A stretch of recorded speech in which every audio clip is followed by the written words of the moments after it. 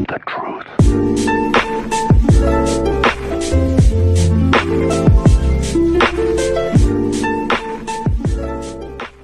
Ple, medyo may problema na naman yung TV natin.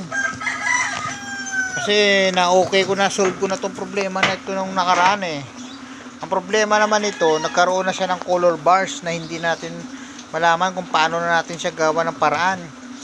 Siyempre, nung naayos natin to, kung paano natin nabuhay, okay na, lumalabas na siya.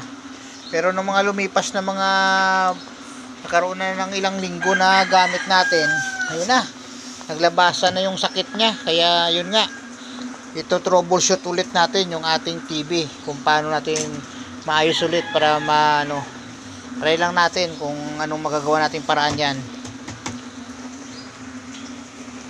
ang sunod natin palang gagawin eh pag unlock tayo ng mga screw nito ayan. Lahat ng mga screw i-unlock natin. Ah, importante lang eh ano lang.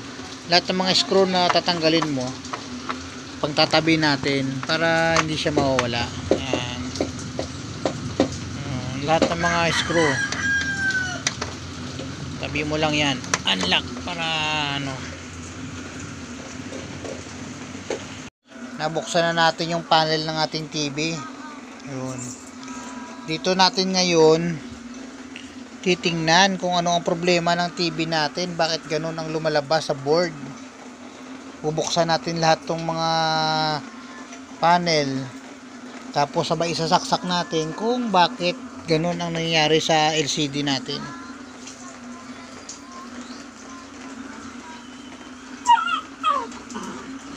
Mga kasimple bali ito yung board yan o ito yung boards ah ito yung kanyang mga port na galing to sa siguro galing to sa ano galing sa kanyang mga LCD ito ito ito. Tapos kinattach muna natin yung ano naglagay muna tayo ng ano. Aray ko! Ang kulit na sinyo. Bali ginattach muna natin yung kanyang ito yung cable.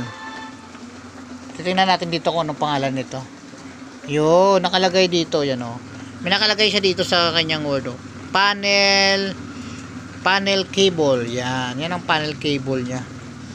Bali lahat ng mga yung nandito sa kanyang screen ito yung nag-attach sa motherboard. Yan. Ito kanyang motherboard yan.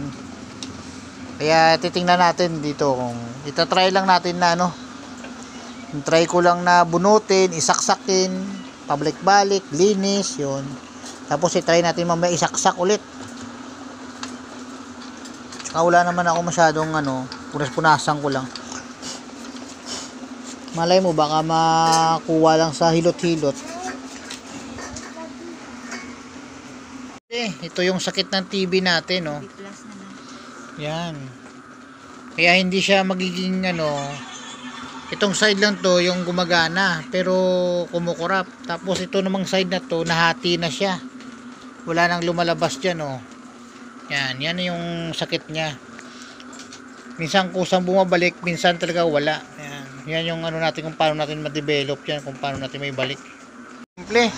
Bali, natanggal ko pala yung pinaka-panel board ng aking TV. Oh, ito na lang natitira na panel.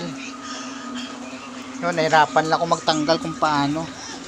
Pero natanggal ko rin sa wakas. Medyo ganun pa rin ang sira eh.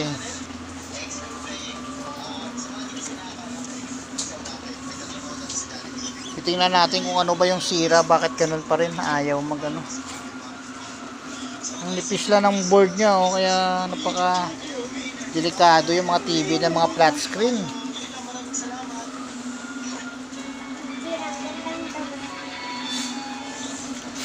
Mga TV ng mga flat screen, napaka delikado.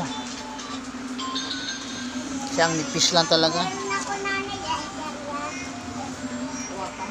simple parang ang sira talaga nito talagang ano na talaga. Yung kanyang ah, LCD kasi napapansin natin dito banda merong may nalalaglag na parts. Ito banda oh. Hindi ko alam. Ito yung kasi kanyang mga ano eh terminal eh mabubuksan natin to kung ano hindi na bumalik yung video kanina may video pa eh Hindi na talaga bumalik. Ano, grabe yung nipis ng board lang ng TV, oh. Ayan, oh. Ay, baba mo konti. Ayan. Ganyan lang kanipis yung board ng TV, yung kanyang PC, LCD board, yan, oh. Ito yung LCD, oh. Ayan. Kita nyo naman yan, sobrang nipis. Yan lang talaga. Kaya napapansin ko yung dito, nagkatanggalan na. Hindi ko alam kung paano. Ewan ko lang kung pwede pa natin may ibabalik yan.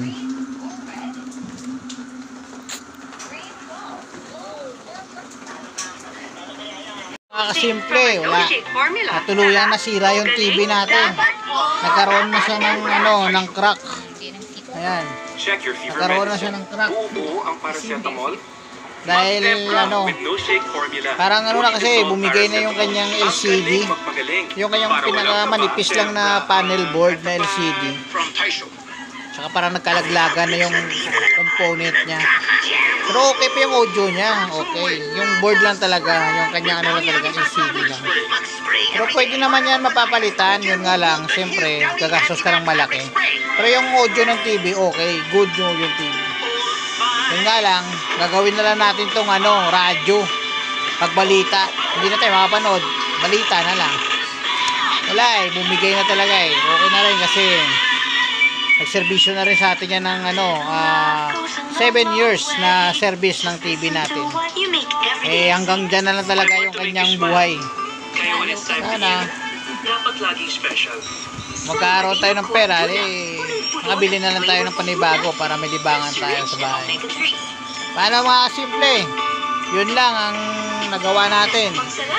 Pasensya na, nag-fail tayo sa paggawa ng pag-ayos ng TV ko eh. Masarapin ang love. Hindi ko rin ano. Marino. Hanggang dyan na lang.